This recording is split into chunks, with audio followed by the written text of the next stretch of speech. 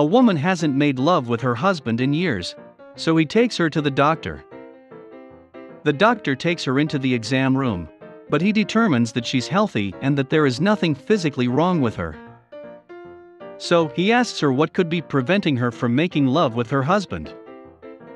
She replies, Well, every morning. My husband gives me money for work, but it only covers my first bus there.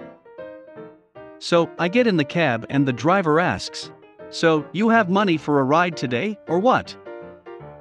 So, I end up making love with the cab driver to cover my fare. Then, I arrive to work late and my boss calls me into his office and says, You're late again, am I gonna have to fire you, or what? So, I make love with my boss to keep my job. Then I don't have any money for lunch.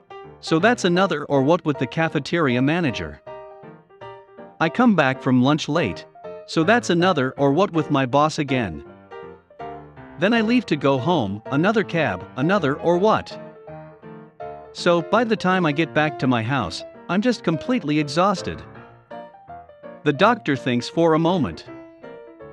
Then he leans back on the table and says, So, do you want to tell your husband, or what? if you laughed, please like the video, leave a comment, and subscribe to the channel.